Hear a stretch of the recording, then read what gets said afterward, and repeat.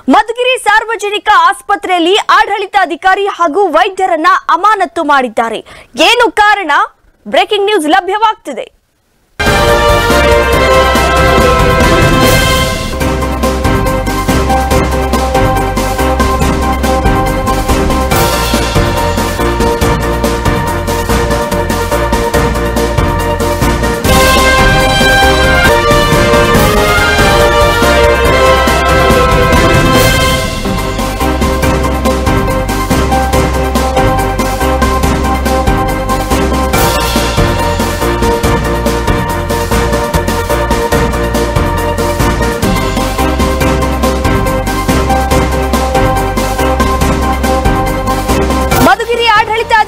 ಸೇರಿದಂತೆ ವೈದ್ಯರನ್ನ ಇಲ್ಲಿ ಅಮಾನತು ಮಾಡಲಾಗಿದೆ.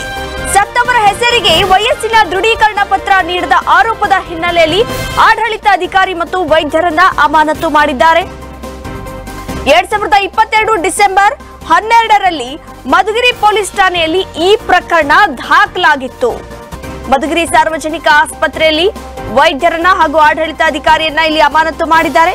ಪ್ರಕರಣ ತನಿಖೆ ನಡೆಸಿದ ಮುಖ್ಯ ಜಾಗೃತ ಮುಖ್ಯ ಜಾಗೃತಾಧಿಕಾರಿ ಜಾಗೃತ ಕೋಶ. ಇಬ್ಬರು ವೈದ್ಯರನ್ನ ಶಿಸ್ತು ಕ್ರಮ ಬಾಕಿರಿಸಿ ಸೇವೆಯಿಂದ ಅಮಾನತು ಮಾಡಬೇಕು ಅಂತ ಒತ್ತಾಯಿಸಿದ್ದಾರೆ. ಅಮಾನತು ಆದೇಶವನ್ನ ಹೊರಡಿಸಿದ ಆರೋಗ್ಯ ಮತ್ತು ಕುಟುಂಬ ಕಲ್ಯಾಣ ಇಲಾಖೆ. ಈ ಪ್ರಕರಣ ಎರಡ್ ಸಾವಿರದ ಇಪ್ಪತ್ತೆರಡು ಡಿಸೆಂಬರ್ ಹನ್ನೆರಡರಂದು ಈ ಪ್ರಕರಣ ದಾಖಲಾಗಿತ್ತು. ಆದರೆ ಇದಕ್ಕೆ ಇಂದು ಮುಕ್ತಿ ಸಿಕ್ಕಿದೆ.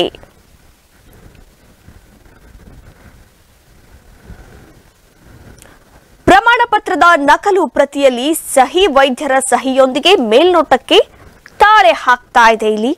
ಹನುಮಂತರಾಯಪ್ಪ ಬಿನ್ಲೆಟ್ ನರಸಿಂಹಯ್ಯ ಎಂಬುವರ ವಯಸ್ಸಿನ ದೃಢೀಕರಣ ಪತ್ರ ಇದು. ವೈದ್ಯರ ಕರ್ತವ್ಯ ಲೋಪ ಮೇಲ್ನೋಟಕ್ಕೆ ಕಂಡು ಬರ್ತಾ ಇದೆ ಅಂತ ಇಲ್ಲಿ ವೈದ್ಯರನ್ನ ಅಮಾನತು ಮಾಡಲಾಗಿದೆ. ಈಗ ಒಬ್ಬ ವ್ಯಕ್ತಿ ಸತ್ತೋಗಿದ್ದಾರೆ ಅಂತಂದ್ರೆ ಅವರ ಹೆಸರಿಗೆ ದೃಢೀಕರಣ ಪತ್ರ ರೆಡಿ ಮಾಡಿ ಕೊಡ್ತಾ ಇದ್ದಾರೆ ಅನ್ನುವಂಥದ್ದು ಇಲ್ಲಿ ಆರೋಪ. ಆ ವ್ಯಕ್ತಿನೇ ಇಲ್ಲ ಅಂತ ಅಂದಾಗ ಆ ವ್ಯಕ್ತಿಯ ಪತ್ರ ಇಲ್ಲಿ ಹೇಗೆ ಬರೋಕೆ ಸಾಧ್ಯ ಆಗುತ್ತೆ? ಅದು ಒಂದು ಆ ಪತ್ರವನ್ನ ಇಟ್ಕೊಂಡು ಇಲ್ಲಿ ಮತ್ತೊಂದು ದಂಧೆಗೆ ಇಳಿದಿದ್ದಾರೆ. ಈ ಪತ್ರಗಳಿಗೆ ವೈದ್ಯರ ಸಹಿ ಇದೆ ಅನ್ನೋದು ಕೂಡ ಮೇಲ್ನೋಟಕ್ಕೆ ಕಾಣಿಸ್ತಾ ಇದೆ ಅಂತ ಅಲ್ಲಿ ಸಾರ್ವಜನಿಕ ವಲಯದಲ್ಲಿ ಮಾತುಗಳು ಕೇಳಿ ಬರ್ತಾ ಇದ್ದಾವೆ. ಈ ಹಿನ್ನೆಲೆಯಲ್ಲಿ ಪ್ರಕರಣ ತನಿಖೆಯನ್ನ ನಡೆಸಿದ್ದಾರೆ ಮುಖ್ಯ ಜಾಗೃತಾಧಿಕಾರಿ ಜಾಗೃತ ಕೋಶ. ಅಮಾನತು ಆದೇಶ ಹೊರಡಿಸಿದ್ದಾರೆ. ಆರೋಗ್ಯ ಮತ್ತು ಕುಟುಂಬ ಕಲ್ಯಾಣ ಸೇವೆಯ ಆಯುಕ್ತರು ಕಳೆದ ವರ್ಷ ಎರಡ್ ಸಾವಿರದ ಇಪ್ಪತ್ತೆರಡು ಡಿಸೆಂಬರ್ ಹನ್ನೆರಡರಂದು ಇಂತಹ ಪ್ರಕರಣಗಳು ನಡೀತಾನೆ ಇದ್ವು. ಆದ್ರೆ ಇದಕ್ಕೆ ಇಂದು ಪ್ರತಿಯೊಂದು ತನಿಖೆಯನ್ನ ನಡೆಸಿದಾಗ ಈ ಆದೇಶವನ್ನ ಹೊರಡಿಸಲಾಗಿದೆ. ಮಧುಗಿರಿ ಸಾರ್ವಜನಿಕ ಆಸ್ಪತ್ರೆಯಲ್ಲಿ ಏನು ವೈದ್ಯರು ಇದ್ದಾರೆ. ಮತ್ತು ಆಡಳಿತ ವರ್ಗ ಏನಿದೆ? ಯಾರ ಕೈವಾಡ ಇಲ್ಲಿ ಇದೆ ಅನ್ನೋದು ಕೂಡ ಸ್ಪಷ್ಟವಾದಂತಹ ಮಾಹಿತಿ ಲಭ್ಯ ಆಗಿಲ್ಲ. ಆದರೆ ತನಿಖೆ ಕೂಡ ನಡೆದಿದೆ. ಇವರನ್ನ ಅಮಾನತು ಮಾಡಿದ್ರೆ ಸತ್ಯಾಸತ್ಯತೆಗಳನ್ನ ಹೊರಗೆ ಬರಬಹುದು ಅನ್ನುವಂತಹ ನಿರೀಕ್ಷೆಯಲ್ಲಿ ಈ ಆದೇಶವನ್ನ ಹೊರಡಿಸಿದ್ದಾರೆ.